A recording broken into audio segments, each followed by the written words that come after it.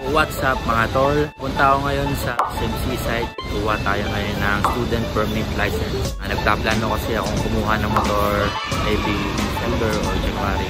O hintay kami ngayon ng bus. 5 pesos lang from SM Cebu to SMC site.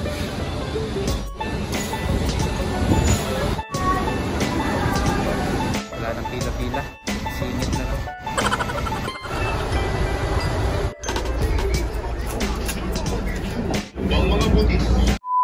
A few moments later. Yun, nasa seaside na po tayo. Hanapin natin yung LTO.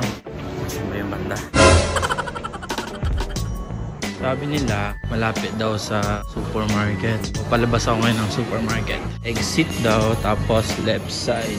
Favorite section.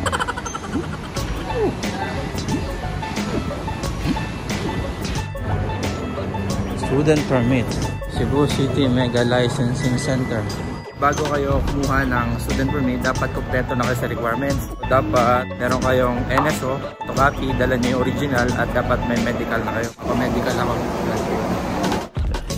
300. What the fuck? After nyo magbayad, bigyan kayo nila na itong form na to. Dapat nitong fill upan. I-fill up muna ka. Mm,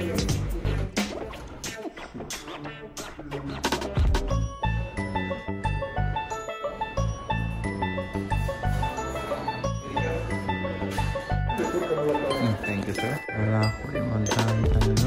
Pagkatapos na magpa-medical, uh, punta na tayo pumunta sa LTO. Process na tayo na ating student permit. Mabilisan na naman medical nila kasi hindi naman masyado madaming tao. Dala-dala ko na yung ano ko, medical certificate. Number. Bawal daw mag-video dito so patago ako nag-video. Uh, pagkatapos yung mag-fill up ng form, bibigyan kayo ng priority number. Tapos kapag bigay ng priority number, uh, maghihintay kayo sa isang window dito. Tayo yung tawagin yung number nyo, tapos bibigyan nyo yung fill up nyo na form. Pagkatawag ng number nyo, mag-pledge kayo ng driver safety pledge.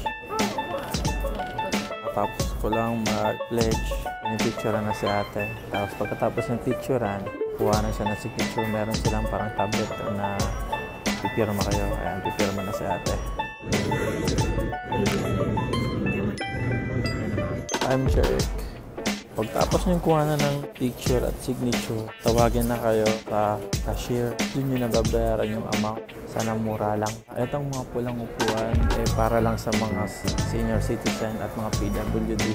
And ako lang ang nakaupo. One. Wala, ma'am. Nakuha ko na po yung student permit ko. Nakuha ko na yung student permit ko. Mating ako dito ng mga 12.50. Tapos natapos ako ng mga 1.40. Mga 50 minutes na ako nag-process. Saglit lang, hindi katulad sa sa may imol malapit na LTO. Eh, inapot ako dati na 4 hours. Kumuha na ako dati na student permit. Tapos hindi ko na process kasi tinatamad ako. So after 1 month ng aking student permit, kuha na ako ng non-professional license. Sana pumasa.